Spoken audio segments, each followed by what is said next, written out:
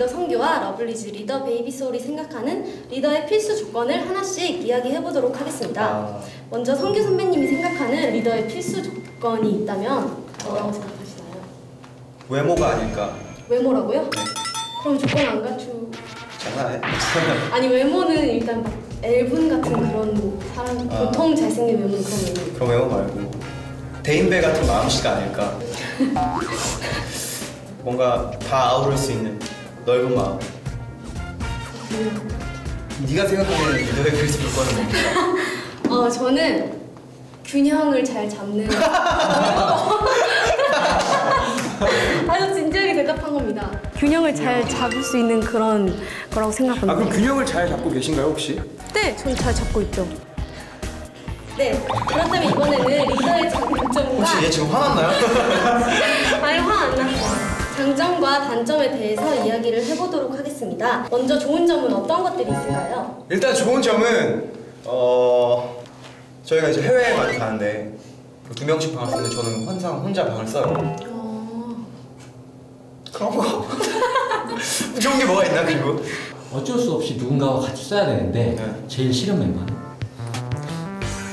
저 솔직히 동우 씨랑 같이 써요. 왜냐면 어떤 스타일인지 알잖아요. 네, 근데 왜 그때 왜?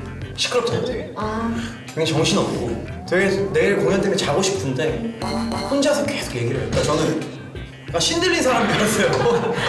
혼자서 대화 상대가 없는데 막 저 yeah yeah yes 막 이러고 랩하고 아. 혼자 막 가사 쓰고 혼자만의 세계가 있어요. 그래서 제가 뭐 일이 있을 때는 같은 방을 안 쓰고 싶습니다. 저도 좀 비슷한데 차를 탈 때 저희도 일곱 명이에요. 근데 이제 동생들은 셋셋씩 뒤에 타는데 저는 혼자서 조수석에 타서 어... 공감하시죠? 아 저도 그러고 있어요. 네. 아 저는 근데 지금 안 그러고 있어요. 어, 왜요? 데뷔 초에만 그러다가 성렬이한테 뺏겼어요. 아, 정말요? 싸움을 잘해서 성렬이가. 네, 저는 지금 일단 그렇기 때문에 그게 편하고요. 아. 힘든 점은 이제 뭐가 힘들죠? 어, 좀 제가 저를 보고 배울 수도 있다는 생각 때문에 말이나 행동을 좀 조심하는 게 있어요. 그래서 이제 음... 제가 할 수 있는 표현이 좀 한계가 생긴다는 거? 그러니까 매니저한테 대들면 멤버들도 그걸 따라서 같이 대들 거다 약간 이런. 그런 게 있죠. 리더는 잘 알고 있네요. 다음 코너는 유비뱅크 SNS로 마구마구 쏟아진 성규 선배님에 관한 궁금증에 대해 시원하게 답해드리는 시간입니다. 와. 이름하여 성규 그것이 궁금하다. 하하.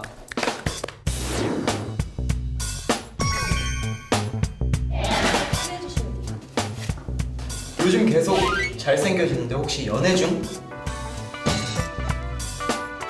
어, 진짜 정적, 정적된 웃음이에요. 연애는 사실 안 하고 있습니다. 저는 팬 여러분과 저는 음악과 연애를 하고 있습니다. 아파하는 건 내가 아 스스로 내가 27살이구나 생각할 때는 이제 그리고 이번 앨범 제목이 27이거든요. 제 나이가 20. 그 앨범 사실 제목이 27인지 몰랐어요 저는. 아 그래요? 근데 회사에서 아 이번 앨범 제목 27으로 하는 게 어떨까 딱 했는데 그때 아 진짜 내가 27살이구나 네 마지막입니다. 네 마지막이니까 제가 어떤 거 할까? 이거 아 귀여운 러블리즈 귀여운 멤- 러블리즈 멤버들 중 이상형을 꼽자면 굳이 뽑자면 제 이상형에 가까운 사람을 뽑자면 하, 그래도 수정 씨가 아닐까 진짜 네 감사합니다. 그리고 굉장히 제가 이 친구의 정말 열심히 했던 시절을 제가 옆에서 봤잖아요.